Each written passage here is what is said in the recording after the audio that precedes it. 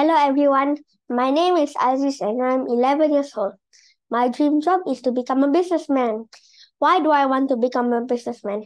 I want to become a businessman because I can create many job opportunities for people who don't have jobs.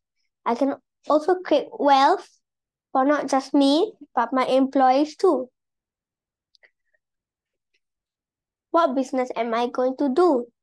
I'm going to do an education business which has an academy and and website and a website. Where is my academy located?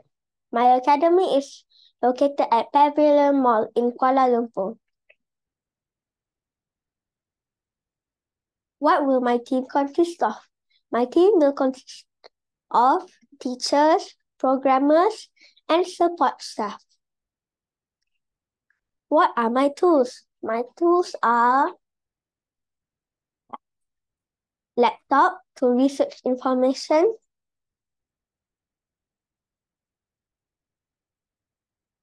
Smartboard for the teachers to teach,